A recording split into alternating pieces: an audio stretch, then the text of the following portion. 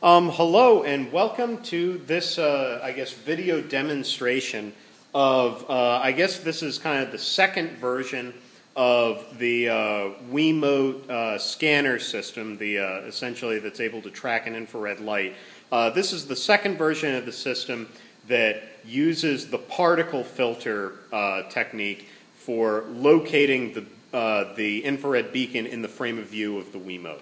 So let me just show you exactly what I've got set up here. I have got uh, one of these uh, Wiimote sensors um, that uh, the sensor has been taken off the Wiimote board and uh, put on a, uh, a custom board made by Rocket Brand Studios. That board is housed inside this 3D printed yellow enclosure that I've got here. And that entire 3D printed enclosure is put on top of a parallax standard servo. Currently, what the system is doing is uh, the servo is scanning the sensor back and forth, uh, looking for the infrared beacon.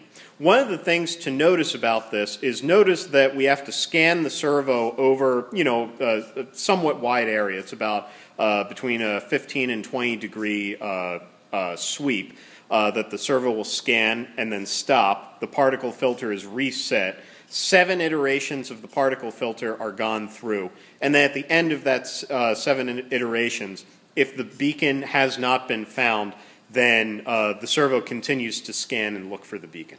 So anyway, this is our, this is our sensor. Uh, this is a uh, Java program. It's essentially a Java GUI that uh, shows us the output of the sensor and the output of the particle filter. In a second, the particle filter is actually going to scan past our light pole. Huh, there it goes. So uh, it just scanned past our, uh, our light pole that we had, so uh, you could actually see a little bit of uh, interference.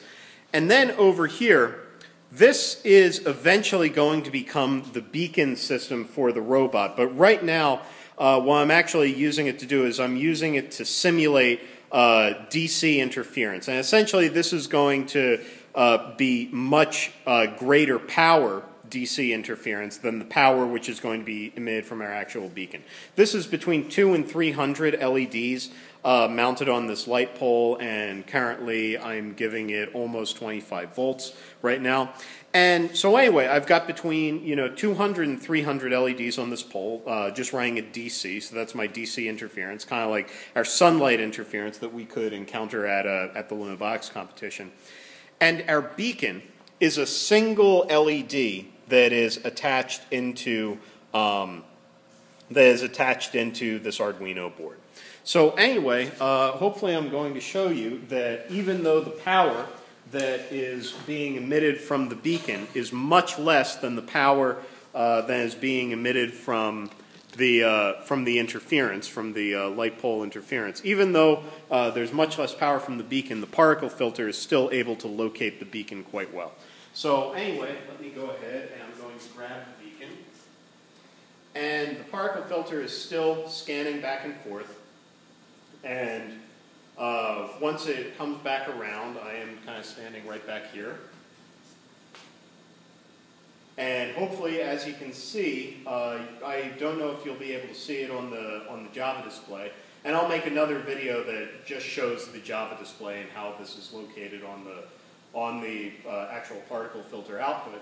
But the uh, particle filter has located the beacon and the servo has stopped scanning. Uh, one of the important distinctions between this system and the system that did not use the particle filter is that the, uh, the system that did not use the particle filter, uh, the uh, uh, sensor tended to move much more often. It would try to always keep the beacon centered. Uh, with the particle filter system, the particle filter really does not work well when the sensor is moving. Uh, and essentially, our way that we are getting around that for this system is every single time the servo moves, we essentially reset the particle filter. So if I bring my beacon over to this side of the field of view, far enough, over, there we go. So I brought my beacon over far enough that uh, the servo moved, and it moved enough that it recentered the beacon. So now I've recentered the beacon, and I don't know if you can see on the output screen, the, the Java GUI screen, but um,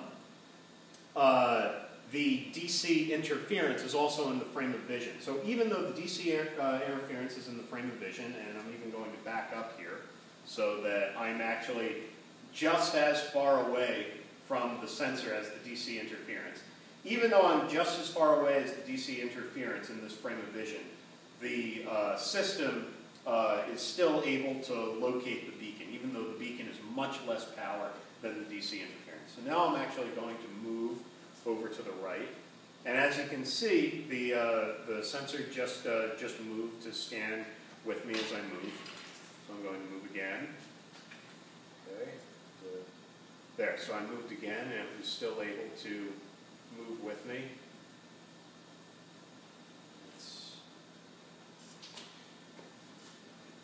One of the problems with the beacon being so low power right now is that, um, you know, once we move over to the actual light pole beacon, uh, uh, we'll hopefully not have this problem, but with the beacon being so low power, it, it's very easy for it to lose the signal uh, when I'm standing farther away from the sensor. Hopefully, we should be able to uh, uh, reduce or eliminate those concerns once we move over to using the actual light pole as our beacon. There. And as you can see, particle filter is able to track uh, is able to track the motion uh, pretty well. So anyway, and as you can see, I'm once again in kind of the frame of view. Here it's going to scan back again and then relocate. Hmm. Maybe burnt out the LED. There it goes. So I was able to scan back and relocate the LED. So pretty much any time the LED is not in view, so I've taken the LED, the beacon out of the field of view, and it's going to continue to scan, trying to find the beacon. Uh, so anyway, uh, hopefully, uh, you know that uh, you know that's just a bit of a demonstration of this scanner system. Uh, thank you so much for watching, and uh, please email me or leave comments in the video if you have any comments or questions. Thanks for watching.